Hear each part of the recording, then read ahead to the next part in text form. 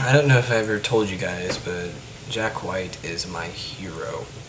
We tried to get tickets to uh, one of his two shows that he was putting on the Ryman this summer, and they sold out in two minutes. I was pretty mad, but then I found out he was doing this special poster thing where you could only buy two of them out of the three that you have to have to put them all together at those two shows. And now I can't have any of them, but that's okay. Uh, his new album is great. If you haven't heard it, you should probably search for that on here next. But I'm going to do um, a song off of that album that I really enjoyed. It's called Blunderbuss.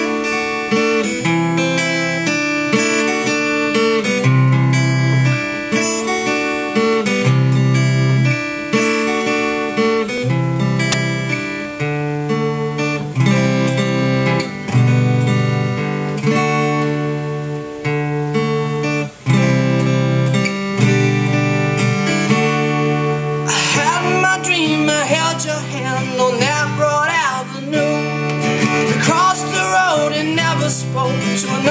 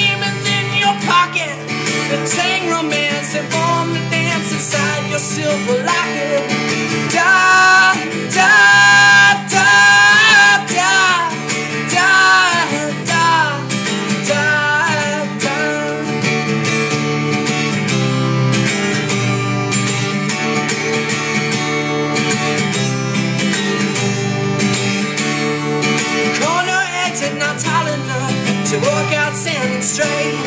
Designed by men so ladies would have to lean back in the game.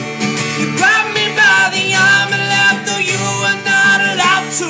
You took me to a public place to quietly blend into. Such a trick pretending not to be doing what you want to. It seems like everybody